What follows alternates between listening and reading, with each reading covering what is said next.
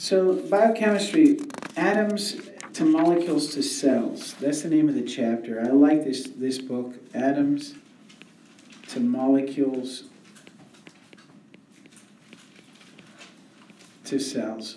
Now, this is an introductory uh, chapter that you read yesterday. It's a college textbook.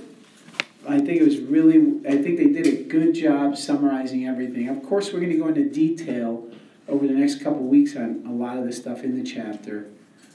Uh, you're going to express, you're going to, I'm going to explain it, you're going to practice it, you're going to take quiz questions on it, you're going to do a test on it. You need to know this stuff in May. You need to understand these molecules. So, what are atoms, molecules? That what we start with atoms. For those of you that have not taken any kind of chemistry, atoms are the smallest component of matter that still retain the properties of that matter. Atoms are made of smaller particles, are they not? Who knows what the atoms are made of? What are atoms made of? That's right, neutrons. That's right. Neutrons, electrons, and protons. I am not going to go over all the, the chemistry behind all this. Those of you that have had no chemistry, I think there's like six of you, you're going to have to catch up some way or another. I will have to come up with some extra activities for you to focus on over the next few weeks uh, so, to help you catch up.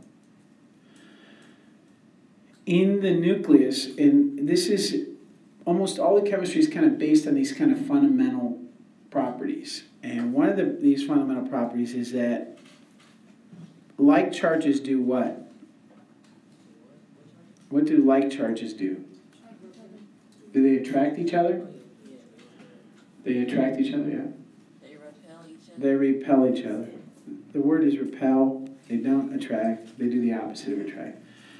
And you've heard you've heard the the other saying that opposite charges do what? Attract. They attract. So opposite charges attract. You've heard of opposites attract. So the force is moving in that direction where they're pulling towards each other, and the light charges repel each other. I don't know why I put repel.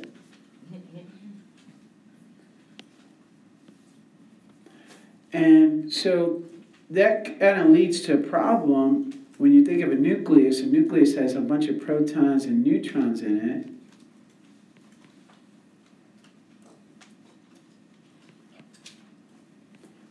Question is, why are the neutrons there? They have neutrons, by the way, have no charge equals zero charge. And when I say positive and negative, you know it's like your battery, right? You see in the battery you have a positive and negative on your battery, so it's the same thing. Electrons are negative, that's right, one negative charge. And the protons equal one positive charge. So those of you taking physical science should know that already. Those of you who chemistry should know this already. So the opposite charges repel. What do you think is happening? This is the nucleus. What is happening in that nucleus? Are the, what are the positives doing to the positives? They're repelling each other. They're pushing each other away. So what holds this nucleus together?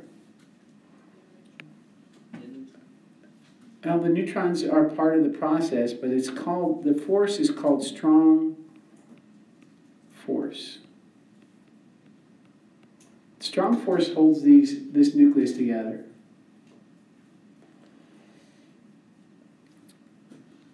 So you have a nucleus that's being held together because normally they would repel. Something has to be holding it all together. This thing called strong force is holding it together. But the atom is this tiny, the nucleus of the atom is this tiny dot. And if that dot were the size of a baseball, then the electrons would be as the electrons would be all the way out here. It would be like as if that would be as if the baseball were in the middle of of, Jacob, of uh, Progressive Field, and then all the way out in the outer stands, all the way up, you know, the highest most stand would be the first electron you'd see. That's how far away, how much space there is between an atom, the parts of an atom. In fact, you are made of atoms, right? Everything you experience is made of atoms. So this what this means, the consequence of this means that you are made mostly of what? Made mostly of what? What what when you look at what how much space you take up, what is most of what you look at the atom. Look at this atom. If there's if there's if this atom has let's say this atom is helium, helium has two protons, has two neutrons, and has two electrons. Okay? So there's two protons in here, so it's a plus two right? And then there's two electrons, and they would have to be as far. Why would they electrons want to be as far away from each other as they could possibly be? Why? They're both negative, and so because they're both negative, what do they do? Repel each other, so they're gonna be as far away from each other. That's really, if you think about that, if you learn that that opposites, that like charges repel and opposites attract, that explains most of what, what's going on here. This is a system that can be explained by a simple process. It's electromagnetic force, right? Mm-hmm. So you're made, actually, you're made mostly of space. Most of you is empty space. Look at it. If this is an atom, you're made mostly of atoms, right? This is one of the simpler atoms called helium. You're actually made mostly of this other atom called carbon, and we'll be talking about that in just a minute when you look at how this atom that's helium only has two protons they're in here two neutrons are in here all the mass of the atom most of the mass of the atoms here most of the charge of the atom on the outside is out here. It's neutral. Why is helium neutral? Look at this and tell me why is helium neutral? Yeah baron? Oh i shouldn't say your name sorry. Because all the there's two positive and two negative they cancel out each other and then there's two that's it. Two positives and two negatives. Two minus two is zero. So the net charge on this is zero. That's why that most things that you experience in, around here have no charge. You don't get electrocuted when you touch it and when you touch the table, right? Because you have there's no charge. Why? Because they neutralize each other. But this is a these electrons are on the outside of this atom, inside the center, of the positive charges. What's holding the electrons to the protons, to that nucleus so far away? Not strong force. Strong force is holding the protons to each other in the nucleus. What's holding this electron to this, this nucleus? The electrons are what charge? Negative. The protons are? So what is that? What they attract. So they're opposite, so they're attracting. Electromagnetic force is attracting. Opposite charges attract. So here's this helium atom sitting here, one of the simpler atoms. It's made mostly of space. You are made mostly of space. That chair you're sitting on is made mostly of empty space. We know this, and I can explain to you, we will go through Rutherford's first experiments that kind of told us what the structure of an atom was. But an atom is made mostly of space. You're made mostly of atoms, so you are made mostly of Space. space. It's logic, isn't it? Logical thinking.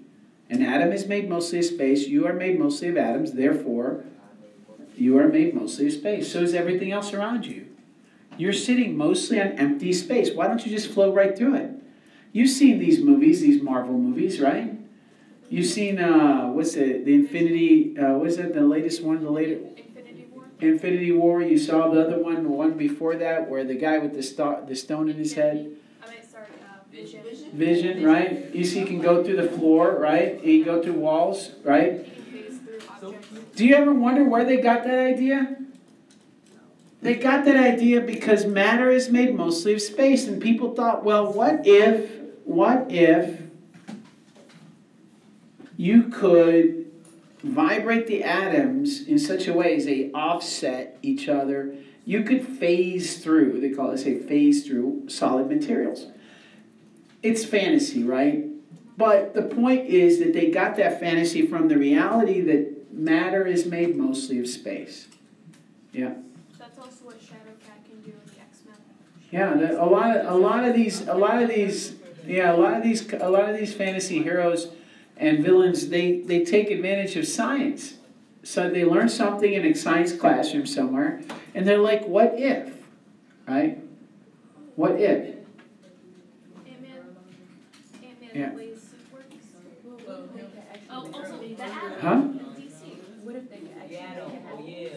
We can make atoms. We can take we can take these components. What's an atom made of? Protons, neutrons, and electrons. We have these things called super colliders, and we can actually speed up protons and neutrons and smash them together. And we can make atoms. We can make gold. We can take hydrogen and put it together with, uh, we can rip hydrogen off of a molecule called water, rip the hydrogen off, collect it in a beaker, then we can send those, that hydrogen, positively, positively charged hydrogen atom, through a super collider to a bunch of magnets miles long. Speed them at each other and smash them together and make an atom of gold. Uh, the, why don't we make all the gold we want? Because it costs more than the gold is worth. It take it costs a lot of electricity, a lot of resources. Yeah. They made a machine like that uh, called a particle accelerator in the Flash, and it exploded and had a bunch of negative. That's right. That's again what did I say about this these Marvel comic things. What are they based on? Science. They're based on reality. We do have a particle accelerator. They do exist. We have we have one in in Rochester, New York, America, an American one. They're building. I think they're building a newer one, uh, bigger one here in the United States. And there's this place called CERN. Have you heard of CERN? No. In CERN, they have a particle accelerator as well. And it's uh, these particle accelerators are where they're taking these atoms and they're speeding them along mile long tracks using magnets, making, making them move really, really fast and then smashing them together. And they release all kinds of energy and they're able to tell what isn't proton made of, what's an electron. Because see, protons are made of something. Electrons are made of something. There are these things called pions and muons and and and just all kinds of weird names, uh, quarks and positive, positively charged quarks and, and negatively charged quarks. There's positrons as well as electrons. There's antimatter as well as matter. There's something called dark matter that we can't even see or touch or feel or inter- interact with. So all this stuff exists. Science is a lot cooler than the Marvel comics. It's just that people don't know about it because they don't want to spend the time learning about it. Yeah. Um, can you replicate an atom in the lab? We can make atoms, as I just said. We live. like replicate, like put one in. the- Oh, you mean you, you mean can ha, can we can we teleport an atom? Are you saying can we take an atom here and then send it to New York through space? Like how cells replicate, I'm saying, can you replicate? I don't know. Like you put it, like you like, like take the atom and then do something to it to like make it regenerate itself. Oh, so replicating. Yeah, um, Einstein Einstein Einstein had this equation. What this equation means, and I'm sure you've seen it. Yeah, it's it's made it's it was the basis of the atomic bomb. Yeah, it's it's there's a lot more to it. All right, so I'm make I'm simplifying it. I don't understand most of it, so let's get that clear. But there is there is something called this. What this equation says is yes, you can. And the way it, how does it say that? The way it says that is that what it what this equation says is energy equals matter or mass times the speed of light squared. So we can take energy, light, heat, right? Any kind of form of energy, and we can take it and turn it into what? If we rearrange the equation, we can do this, can't we? So what, Right? C is C is the speed of light.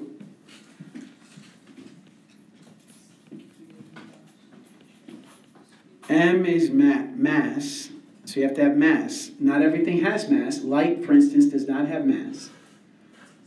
And E is equal to energy.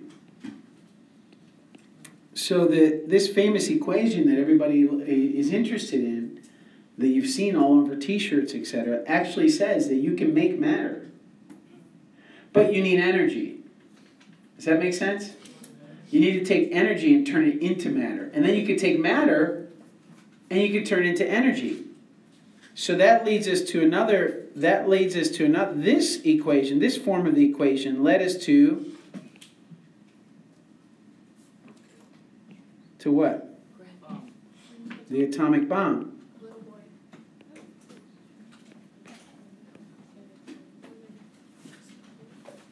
Little boy, I think it's, uh, what was it, fat, something, wh- what was it?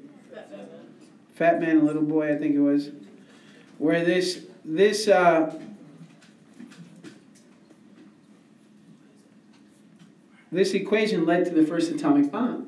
We took matter, what is atomic bomb? You're taking matter, specifically a radioactive element like plutonium. It's very unstable, and you're pushing it together, and you're forcing what? The protons to get too close. What do the protons do to each other then?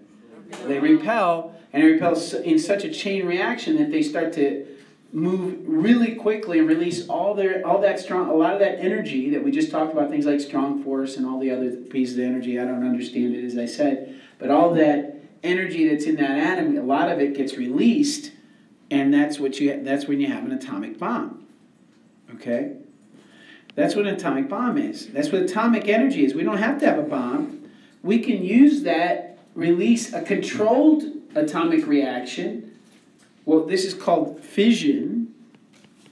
That's breaking up an atom, right? We can control the release of that, and what we call that is nuclear energy. Now, why are we afraid of nuclear energy? It's dangerous. It can blow up everything. Radioactive. Because it can have a meltdown. It's radioactive. It may, mainly because of the waste. We don't know what to do with the waste. The waste that's radioactive can be radioactive anywhere from 30 years later to 10,000 years later. So, What do you do with stuff that's that radioactive for that long? so would everybody just start getting like cancer and stuff? Well, If you go near it, yeah. We have two nuclear power plants. One in Perry, that's near Sandusky. You see these things. There's usually there's two of them on each on each site. These things called water towers, water cooling towers, and they release clean, warm steam. The steam is cooling off the pipes. All this nuclear energy is just a way of heating up water to turn turbines to make electricity. The electricity that you use if you're part of the illuminating company comes from nuclear power. There's two nuclear power plants on Lake Erie. Yeah, at least in, in the Cleveland area. Yeah.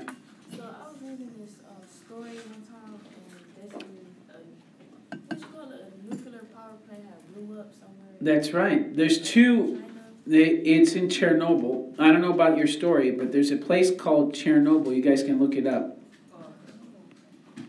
You, there's actually a really great documentary. It's still radioactive to this day. They, it melted the tower, and the core it had a full meltdown. This is what we call a meltdown.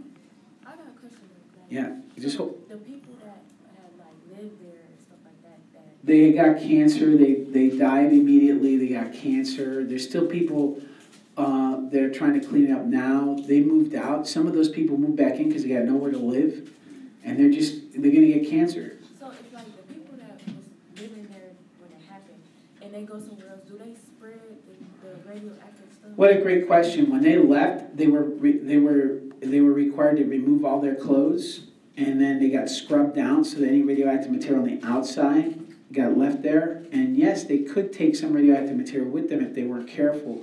But really, the impact, the negative impact of the radiation's already happened to them.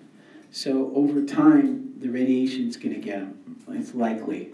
Radi- the, the cancer will develop in these people. And indeed, we see that there's a higher rate of cancer among people that were exposed to radiation during the Chernobyl incident. Chernobyl's one, one of many, of three big ones that I can mention. There's another place called Fukushima. And I'm misspelling it, I know, I apologize. But Fukushima is in Japan. It happened more recently.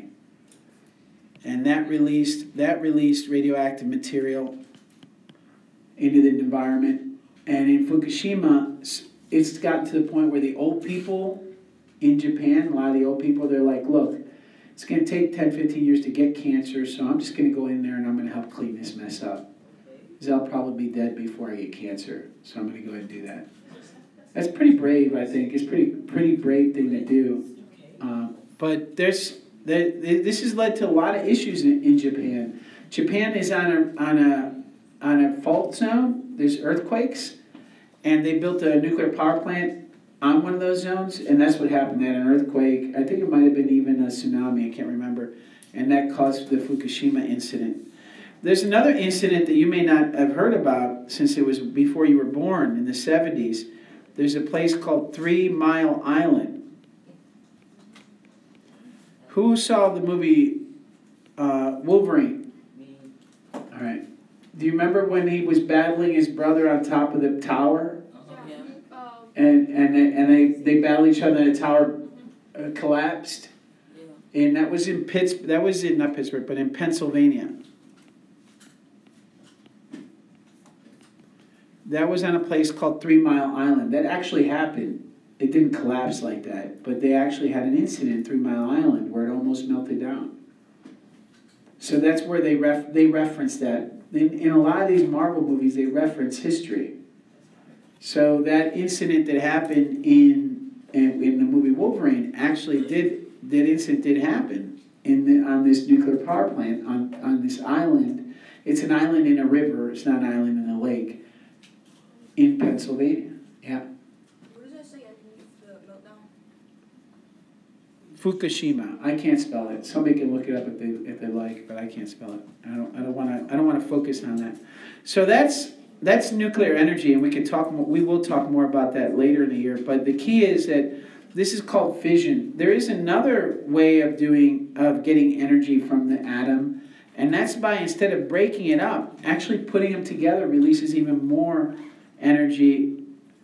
Putting them together, putting two of these things together to form a bigger one, actually releases a lot of energy, and that process is called fusion. Fusion is probably the future of energy production for the, for the human race, assuming we live long enough to take advantage of it. We have, as a species, if we're long, if we're around long enough, we have three, I think it is, three or four fusion power plants being uh, built today based on this idea. Uh, again, I'm going to reference these Marvel movies because you guys have all seen them. Have anyone ever seen the Doc Ock movie, the octopus, the guy with the, the eight arms? The Spider-Man one with the eight arms? Have you seen that one? Where he had that big ball of energy and, and, and the big ring sw- swirling around it? That's what they think of as fusion. These are fusion reactors. And these fusion reactors, uh, they actually have a, a, a jaded history because it's really hard to do cold fusion. That is to get fusion to happen and produce more energy than you than you used to make it. But we're getting there. We're very close to getting it. That that means that you could take theoretically, in the end, assuming you're able to do it, you can take garbage, put garbage in. Now, it actually you need you need a specific element, but let's just talk about the theory. Take garbage, and you stick it in a fusion reactor, a box, and what you get out is clean energy. No carbon dioxide, no radioactive material. You just get energy to run your stuff. Wouldn't that be cool? And that's this is what the sun runs on. Our sun runs on fusion energy. Our sun is taking hydrogen and helium and it's smashing them together to make bigger elements.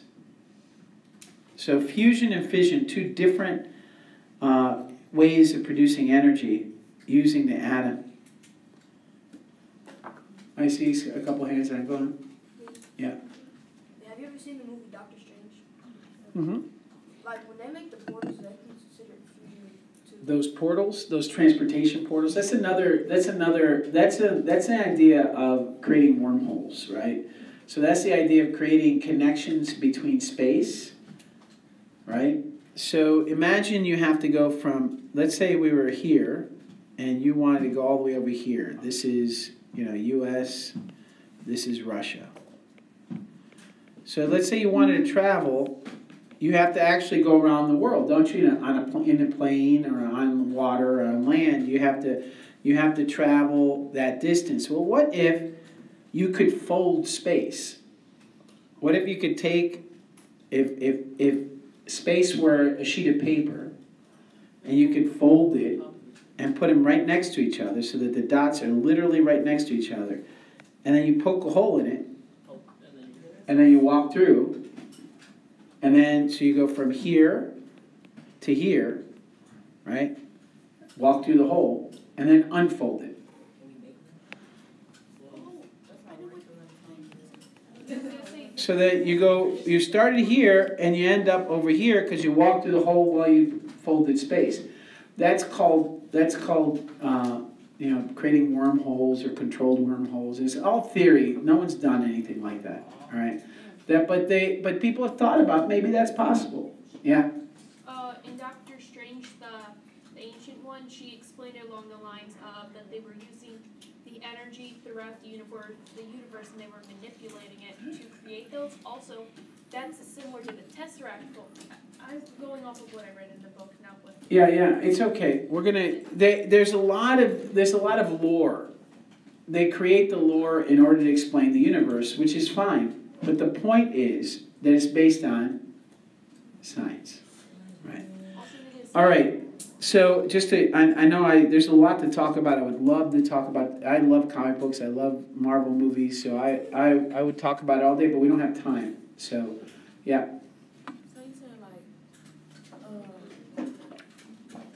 oh, so you saying basically you don't, nobody, it's just a theory, nobody has did it. I feel like if they can make HIV, then what else can they do?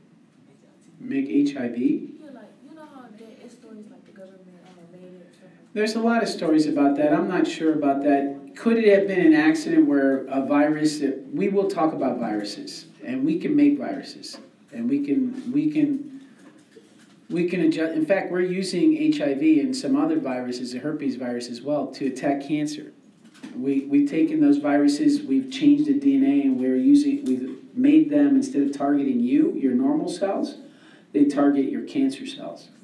And we've actually come up with some successful treatments. Uh, Not 100% successful yet, but we're on the verge of using viruses to attack cancers and get rid of cancers. Imagine you got a cancer, instead of them operating on you, they inject you with a virus and it's cured.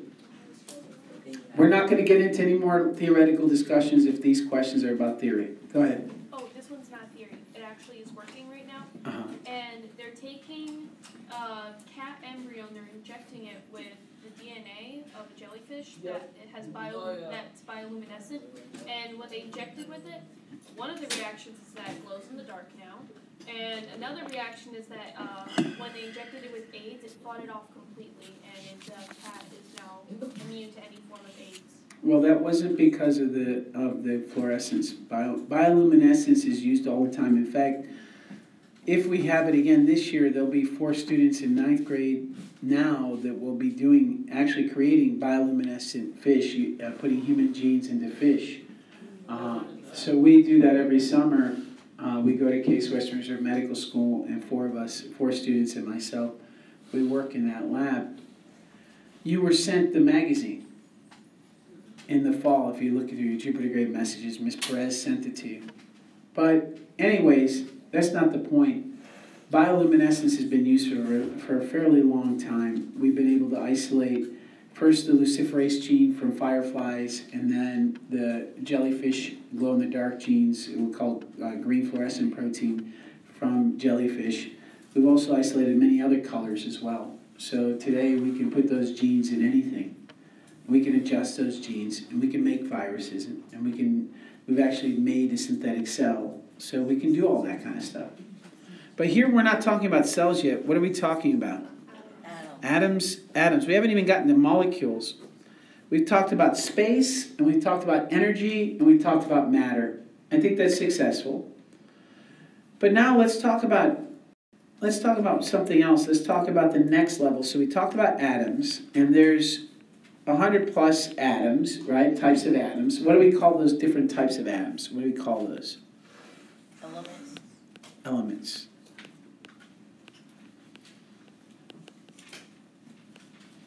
Are called elements.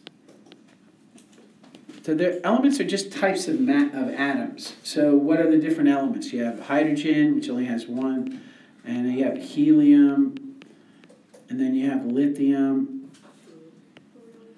and there's there's all kinds. There's all there there's a hundred some odd. The first two rows of the periodic table. There's this thing called the periodic table. It looks like this, right?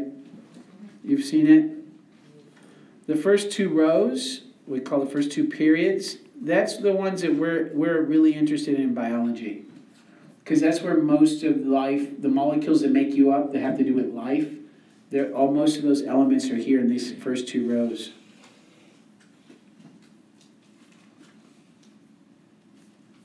But even if we go into the first three or four rows, that's about it. These elements down here, all the elements below this, they're really interesting for chemistry and, and nuclear. The nuclear ones are over here in these little two in these two rows are down here. These are the ones that, that nuclear scientists are really interested in because they're very radio very radioactive, right? There are some poisons in these blue in these blue rows. Things the one that you know you've heard of, I think you've heard a lot about is lead, right? And lead in the water, lead in the pipes, and that's a big one that's down here. That really should not be in your body. That should not be in our in life. But when it does involve itself in life, it causes problems. So, anyways, there's a bunch of atoms. So, you need to know carbon, hydrogen, nitrogen, oxygen, phosphorus, and sulfur. Schnapps. It's actually an alcoholic drink, so that's interesting. It's a German drink. Schnapps. Carbon,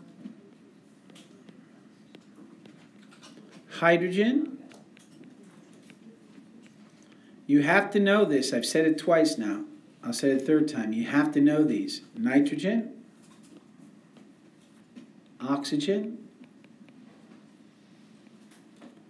phosphorus, and sulfur. Schnapps. You have to know these. The, so there's these six elements plus a bunch of others.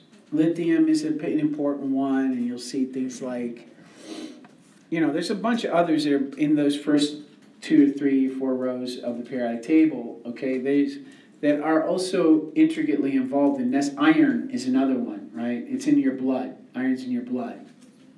It's an important component of red blood cells.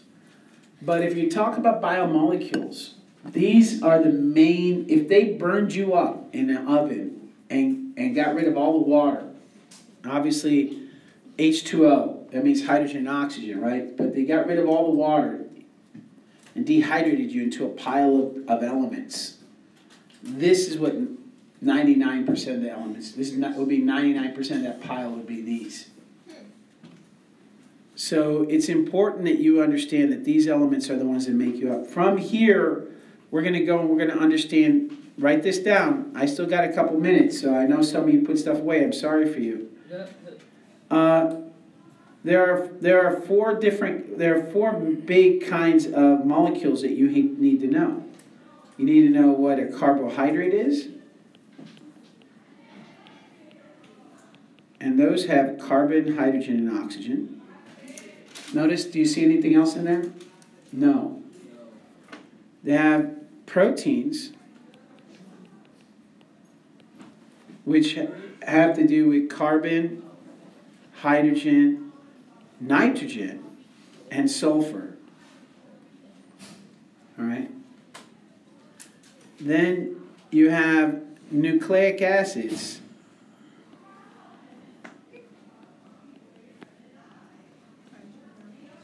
which have, again, we're talking mostly, right? Carbon, hydrogen, nitrogen, phosphorus, and sulfur, and oxygen. And then you have fats. And fats have mostly carbon and hydrogen. What's those four different types of what? Four different kinds of biomolecules, molecules of life. All right, so we're going to talk more about this tomorrow. Have a good day. If you were marked absent and you were here, I need to see you. Otherwise, I'm marking you absent in Jupiter grades. Come and see me. I will be available for you this afternoon, but for a short time, I have a, a meeting right after school, so hurry up. So I just said that a chair, the stool you're sitting on, right? Oh, my pencil just died, right? So the stool you're sitting on has four legs and is made of of wood, right? A bowl of a bowl, well, let's not say cereal, let's say a bowl of sugar.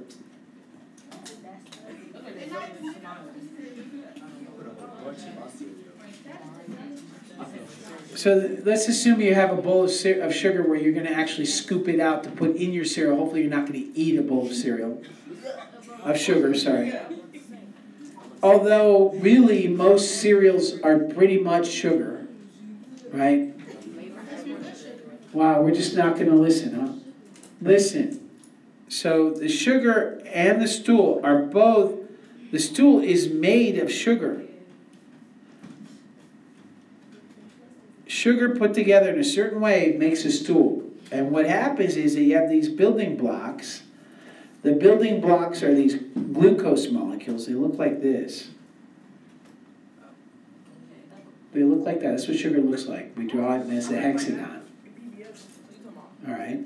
So we can link them together in a certain way. You can link them together in a certain way. And this link, and this link, they can be very long. You're still talking. I'm, try, I'm trying to explain something.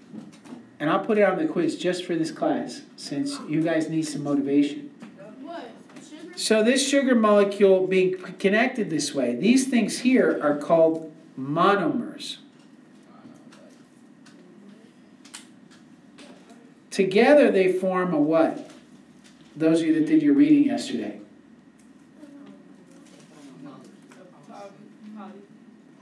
Polymers. Poly means more than one. So you got monomers put together make polymers. So if you put together these monomers in a certain way, these glucose molecules a certain way, you get something called cellulose. Cellulose is the sugar molecule put together in a certain way that forms these fibers that, oh, that's not good, I'm drawing a DNA molecule. Together in a certain way, they form these fibers that make it very hard for us to digest. We cannot digest it. Very few things in this world can eat cellulose. The few things that can are some bacteria that live in the gut of termites, right? Termites can't digest bacteria, uh, cellulose, but they have bacteria that can. So they chop up the wood, put it in their gut, and the bacteria in their gut breaks it down for them. So, and there's mold or fungus. Fungus has some. Let me, you know what? Let me put fungi. Oh, let me just put fungus. Some fungus can eat wood, can break down cellulose. But other than that, that's why wood can last hundreds of years. Because you need a lot of water. It has to be pretty. If it gets moist, if it gets really wet, the fungus grows really easily. So the fungus can break down the cellulose. If it's dry, fungus can't grow very well, so it can last hundreds of years. So cellulose is hard to break down. But if you put the same monomer, right, the same sugar molecule, that same molecule together in a different way, you get something called starch. Both are made by plants. Cellulose is made by plants, and starch is made by plants. Starch is found in things like potatoes, right? In things like yams. Can you eat starch? Yeah, we can easily digest starch. Even though it's made by plants, we can easily digest them. And when we break them apart, when we take starch, which again is made of these monomers of sugar, connected together in a specific way, like Legos, right? We can break this up. Our enzymes can break that up, and what we end up with is sugar, and now this glucose molecule. Now we can eat that. We can use that for energy, but we can't. We can't use cellulose for energy because we can't break it up. We can't get the sugar out of that polymer. Does that make sense? I hope so. That's, I'm going to put it on the quiz for you all, so you better. I hope you understand that. Mm. All right. So what's going on? What's next? Yeah. Go ahead. Question. Um, you said no, it's like can't wait dry rot, right? Like, Wood, wet can. What they call dry rot is kind of a misnomer. What happens is when wood gets wet, it get it soaks up the water, and then when it dries, it breaks up the the bond the parts that bond it up, and it breaks apart. But then what also what happens when it gets wet is fungus can grow. If, if fungus starts growing the, the fungus can break down the, the polymers. All right, it's three sixteen. Please finish reading that that reading. You're gonna need it for your quiz tomorrow. Good luck.